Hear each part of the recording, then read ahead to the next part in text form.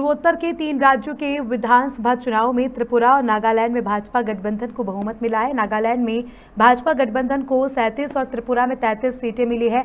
वहीं मेघालय में मुख्यमंत्री कॉनरॉड संगमा की एनपीपी सबसे बड़ी पार्टी बन गई है। साथ ही एनपीपी के खाते में अभी छब्बीस सीटें आई है। बता दें, चुनाव से पहले भाजपा से गठबंधन तोड़ने वाली एनपीपी का एक बार फिर भाजपा से गठबंधन हो गया है। असम के मुख्यमंत्री हेमंता बिस्वा शर्मा ने ट्वीट कर कहा कि मेघालय के मुख्यमंत्री संगमा ने गृह मंत्री अमित शाह को फ़ोन करके सरकार बनाने के लिए मदद मांगी है। कॉन्ड्रोड संगमा ने भी ट्वीट करके भाजपा से मिले समर्थन की पुष्टि की उन्होंने भाजपा को समर्थन के लिए धन्यवाद दिया उन्होंने कहा, हम मेघालय की सेवा के लिए मिलकर काम करना जारी रखेंगे।